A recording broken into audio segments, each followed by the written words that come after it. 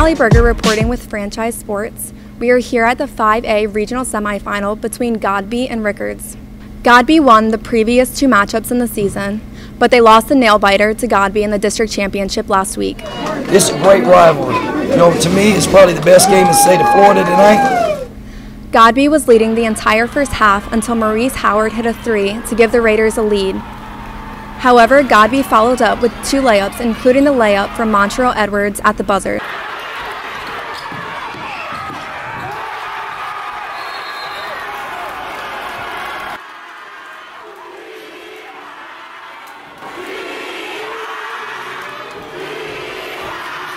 Godby led Rickards 26 to 23 at the half.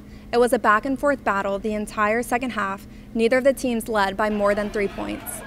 Godby had a 45 43 lead. They were going back and forth when Lorenzo Goli drove the lane and finished up the rim to tie the game.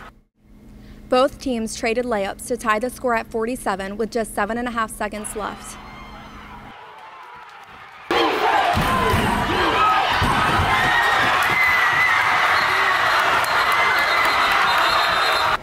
Rickards then tried to call a timeout, and they were charged with a technical. They they called a timeout and they didn't have timeouts. Okay. I mean, that's just a technical. And, Yeah. Uh, you know, it's unfortunate for uh, Yeah. uh, them, unfortunate for us.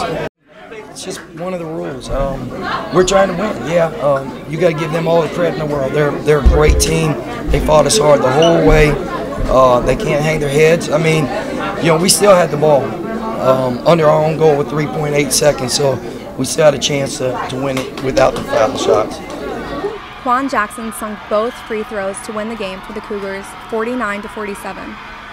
Rickards' season is now over, and Godby advances to the regional final this Friday. I'm not going to put anybody else but him. I mean, he, he, he helped us get a ring.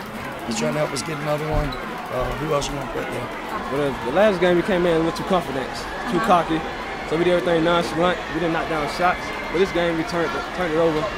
Um, we pressured them, ran the floor like we should, and we came on top.